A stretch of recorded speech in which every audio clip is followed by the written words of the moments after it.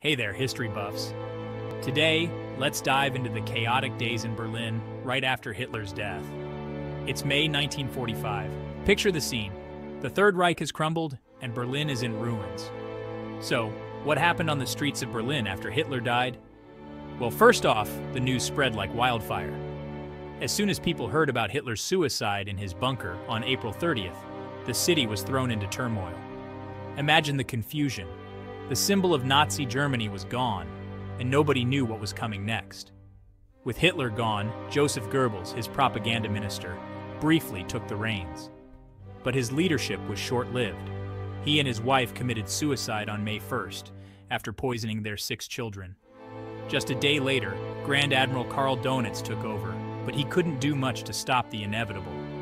The streets of Berlin were a mix of fear, chaos, and desperate hope. People huddled in basements and makeshift shelters trying to survive the relentless bombings. Soviet troops were closing in, and soon they entered the city, igniting fierce urban warfare. The sounds of gunfire, explosions, and cries filled the air. Civilians faced unimaginable horrors. Many were caught in crossfires, while others were subjected to violence and atrocities by the invading forces. But amid the chaos, there were also tales of resilience and small acts of kindness. Neighbors helped each other find food and water, and some Soviet soldiers showed compassion towards the civilians. By May 2nd, Berlin had officially fallen to the Soviets. The red flag was raised over the Reichstag, signaling the end of Nazi control.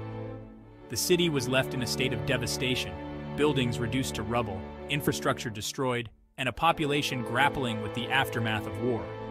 In the months that followed, Berlin was divided into sectors controlled by the Allies, the Soviets, Americans, British, and French. Each sector had its own challenges and recovery processes, leading to the eventual divide between East and West Berlin. But that's a story for another day. So, there you have it a snapshot of what Berlin was like right after Hitler's death. A city in chaos, but also a city that would rise from the ashes. History is full of these powerful moments, and they remind us of the resilience of the human spirit.